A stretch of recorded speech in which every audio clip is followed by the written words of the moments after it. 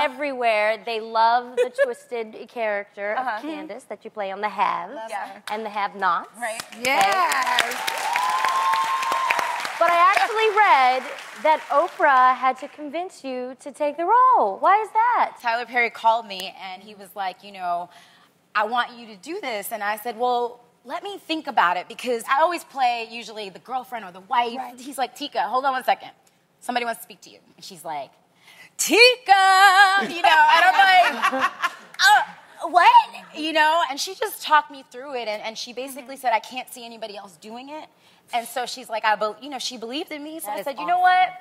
If Oprah Winfrey believes in me, gosh, darn it. Oprah says it. You must do it.